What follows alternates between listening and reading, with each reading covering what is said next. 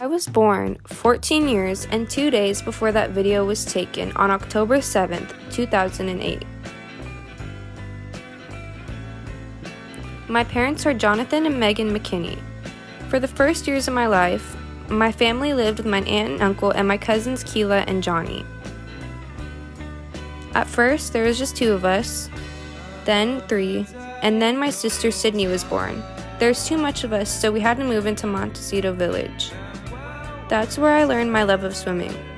Unfortunately, I don't like swimming anymore, but I was still a very active kid. I love to go to the park and I love to play games. I also love to go watch sports games. Then, when I was four, I started dance. I was in two recitals. I loved dance so much. Also, when I was four, I started school at St. Mary's Star of the Sea School. I was in multiple musical productions, like the reenactment of Christmas, where I was an angel, and Where the Wild Things Are, where I was a wild thing. Not sure what I was in that picture, but it's fine. Anyways, I got to go on tons of fun field trips, and I even got to take my flat Stanley to the zoo and to the pier as part of a little project. I also made so many friends that I'm still friends with to this day. Then I graduated kindergarten and I went on to first grade. In first grade, me and my sister were both baptized, and I also started Girl Scouts, where I sold cookies to even Coach Campbell, who's a security guard at our school. I also watched Frozen when it came out, which made me think I could sing, even though I can't. But I think it was just the fun part of creating songs in my head and just being creative, which I love the most. Then, in third grade, is when things changed.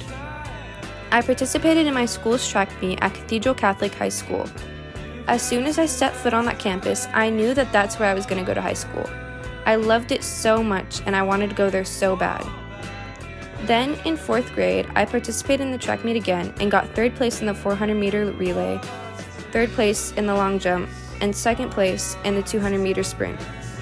After that, I started rec soccer, which I loved so much. It was my favorite thing that I had done so far. Then after rec, I tried out for All Stars, which I made the team. After All Stars, I played softball, which I sucked at, but then I played competitive soccer after making that team.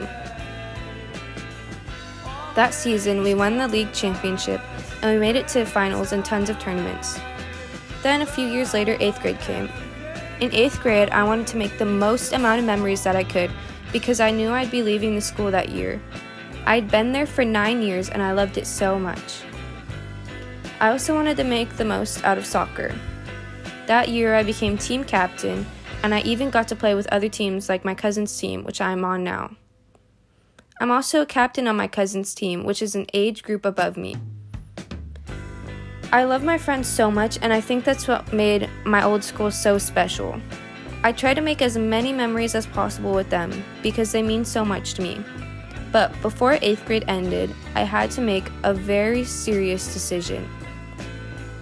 I had already taken tests for scholarships at Cathedral Catholic High School and I had applied for financial aid. It'd just be too expensive and I would have to leave the house at 5:45 every morning, which means I wouldn't be able to help my mom with my sister who would be born a month before school started. I decided to go to Oceanside High School so I could play soccer with my cousin and my teammates. Also, my dad went to Oceanside High School, so I guess I could sort of carry on his legacy, especially through sports. Then I graduated 8th grade, which is what my school calls it instead of promotion. It was so amazing and so bittersweet. I love my classmates so much, not only because they're just my classmates, but they're also my best friends and they're like family to me. Whether they're my teammates, my classmates, or family, my friends mean so much to me and they're the most important thing in the world. Then, this past summer, I played in a 19U tournament with the Oceanside Varsity Coaches Club team. I also kept practicing soccer, there's been some rough parts, but there's also been some really good parts that I'm really proud of. I also got to play in a beach soccer tournament, and I've continued to play beside my cousin. I also decided to work on my art. Even though it isn't perfect, I still want it to be the best that it can be. Before making this video, I wasn't sure what my personal legend was. But then I realized that it doesn't have to be a specific career or job. I realized that my personal legend is to spend time with the people I love the most and to be part of a team.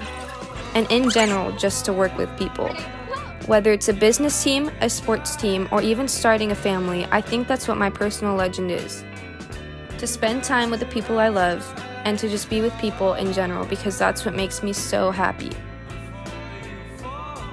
I'm so grateful for all the friends that I have, and I realize that this is an amazing experience to realize my personal legend and what I want to do in life.